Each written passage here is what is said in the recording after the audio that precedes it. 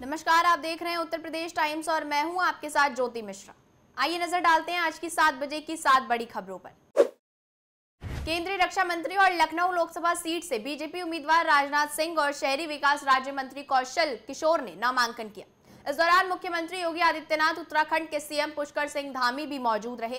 रथ पर सवार होकर नामांकन के लिए निकले राजनाथ सिंह। नामांकन के पहले श्रीराम के नारे के साथ भव्य रोड शो करते भी नज़र आए। रक्षा मंत्री राजनाथ सिंह ने लखनऊ तो वहीं कौशल किशोर ने मोहनलालगंज के लिए अपना नामांकन सौंपा।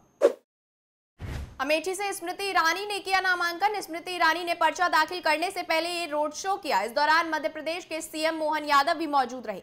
अमेठी में रोड शो के दौरान स्मृति ईरानी ने कहा, आपने हम सब की शोभा बढ़ाई है और अब आप अपना आशीर्वाद दें। अमेठी से ऐसा बिगुल बजे कि इसकी गूंजन पूरे विश्व में हो। अमेठी फिर तैयार है कि अब की बार फिर मोदी सरकार।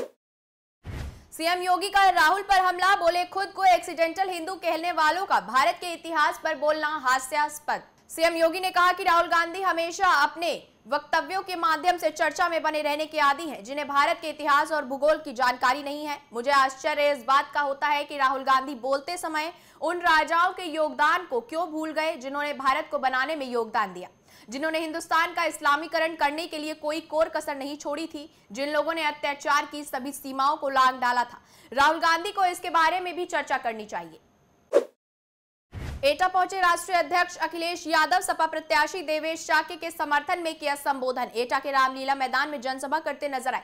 इस दौरान उन्होंने विपक्ष पर तंज कसते हुए कहा कि संविधान बचेगा तो लोकतंत्र बचेगा, और लोकतंत्र बचेगा तो वोट देने का अधिकार बचेगा। हम संविधान के रक्षक हैं और वो लोग भक्षक।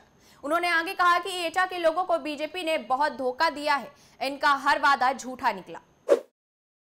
बसपा सुप्रीमो मायावती सोमवार को बरेली के आमला और बदायूं लोकसभा क्षेत्र से बसपा उम्मीदवार के समर्थन में जनसभा करती नज़र आई। इस दौरान उन्होंने विपक्ष को आड़े हाथ लिया।